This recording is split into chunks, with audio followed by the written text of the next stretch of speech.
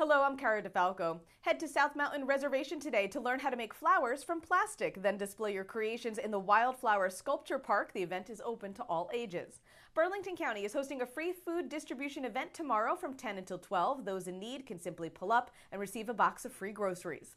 And Lawrence Hopewell Trails are hosting Celebrate Trails Day tomorrow. The walking club is inviting cyclists to join them in the morning to enjoy the local trail system.